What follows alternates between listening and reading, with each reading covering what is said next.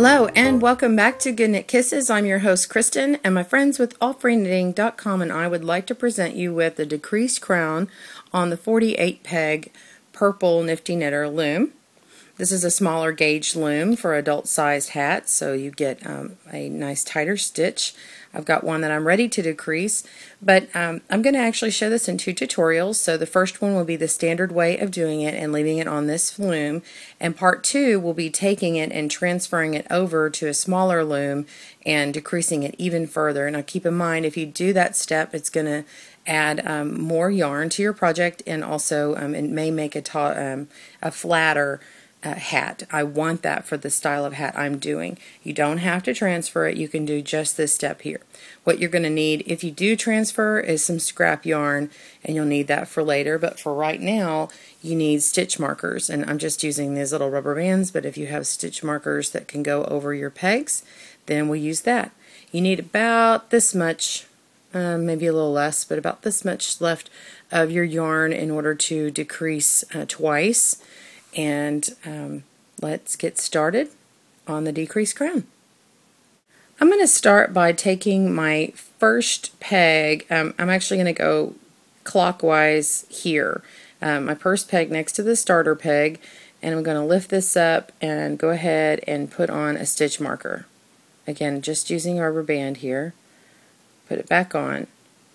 Now, I'm going to count out six pegs and I'm going to have a section of six all the way around. So you're going to get eight sections and we're going to mark every peg. So this is one, two, three, four, five, six. So what would be the seventh peg or now your new one is going to be another stitch marker. You're going to do this all the way around your loom and meet back up and you should have eight sections of six. Be sure and count them and double check before moving on to make sure that they are all exactly even. You don't want to have uh, the wrong number. So thanks and we'll meet back up. Okay, so we have six sections of eight. I'm sorry. Okay, we're back and I've got my eight sections of six all the way around my loom. And look carefully because mine aren't that significant in the video, but I can see them here. So just double check and make sure that you've got your numbers right. And we're going to, if you're familiar with this technique, now that you know the sections, you may not need the rest of the video, but keep in mind if you do want to decrease on a second time and transfer the loom, I am going to have a video for that if you need a little bit of uh, help. So we're going to take our second peg over to our first peg, and each section I'm calling the 1 through 6 pegs. So every time I say take your second peg to your 1, you're going to do that in each section. So this section, we're going to take this peg and put it over here. And I, I actually find that it's easier just to go ahead and twist it out of its out of its twist there. It gives it a little bit um, more bulk and it's okay to untwist it. And it's really hard um, to do if you don't untwist it. It can be way too tight.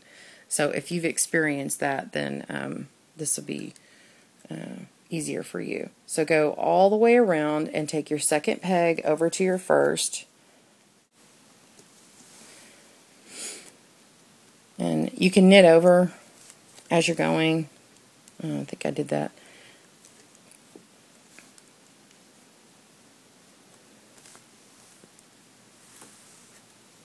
Go all the way around and come back.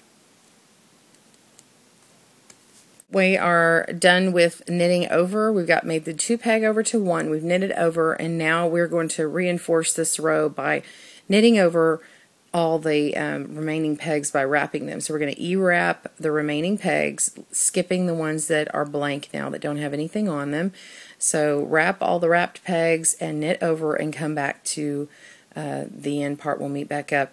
And I just wanted to say real quickly that I do have some basic videos and stitches on my channel. And if you'll please go on there, I have some playlists and things like that for bind off and stitches and everything like that and different looms. So if you'll check that out, um, be sure and pause the video if you're not sure what's going on. If you need to find another technique to help you before moving on to this advanced stage, then uh, this is more immediate, intermediate. But if you um, or if you're having trouble, please pause the video and rewind. And uh, I get a lot of comments, um, people asking questions that are actually in the video. So please be sure and double check that first. And um, I thank you very much. We'll see you in a minute. Wrap all your pegs and knit over and come back.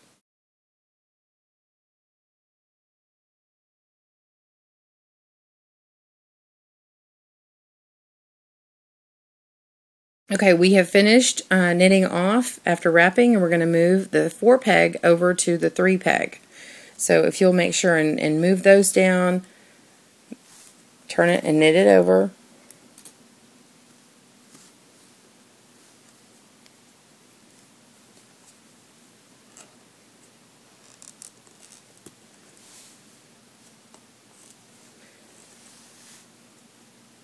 Then go ahead and move on to your next section.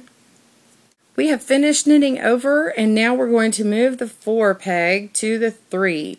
So if you'll take that, pick it up and move it over and knit off and do that in each section and then we're going to wrap all the remaining pegs, knit over and come back.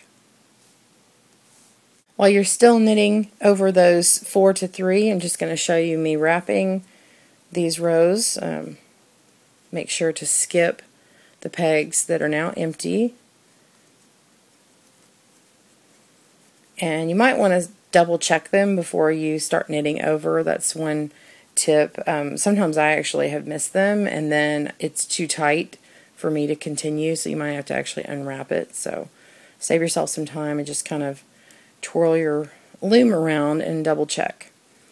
And normally I don't hold my loom like this just to let you know. uh, I actually kind of hold it up near me, sort of vertical, but I can't fit it on the screen that way right now. And then when I knit over, I actually turn the loom upside down and kind of gravity. well, I wish gravity worked for it, but basically I knit over downward. I take it and move it down like that. I, to me, I think that works um, faster, uh, more efficiently if I'm trying to turn out some hats for people.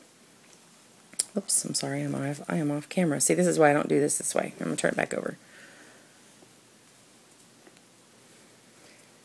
So continue wrapping and knit over and we'll meet back up.